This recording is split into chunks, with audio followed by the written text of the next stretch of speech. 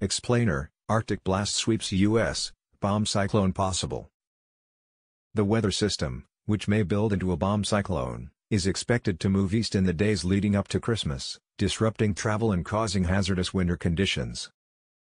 A front of cold air is moving down from the Arctic, sending temperatures plunging. Temperatures may drop by more than 20 degrees Fahrenheit, 11 degrees Celsius, in just a few hours, the National Weather Service predicts. On top of the frigid cold, the weather system is expected to send a snowstorm through the Midwest near the end of the week. Those in the plains, the upper Midwest and the Great Lakes should expect blizzard conditions as heavy winds whip up the snow, according to the National Weather Service.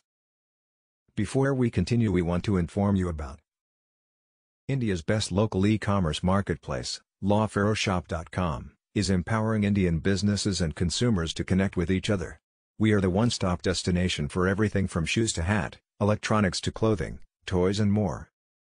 Our mission is to create a platform that will ensure that Indian brands and businesses get the right exposure and reach the right audience in the world. Pretty much everyone east of the Rockies, around two-thirds of the country, will see extreme weather in the coming days, said Ryan Maue, a private meteorologist in the Atlanta area. Though much of the west coast will be shielded from the cold, the Arctic front is expected to pass east and south all the way through Florida. As for the snow, those in the Midwest will probably see a heck of a storm, though blizzard conditions aren't expected to hit the east coast, Maue said. Heavy snowfall and intense winds could be bad news for travel, Oravec said. This weather system is expected to bring some major weather whiplash, said Judah Cohen, a winter storm expert for atmospheric environmental research. After the dramatic plunge that will keep temperatures low for about a week everything will snap back to normal, Cohen said.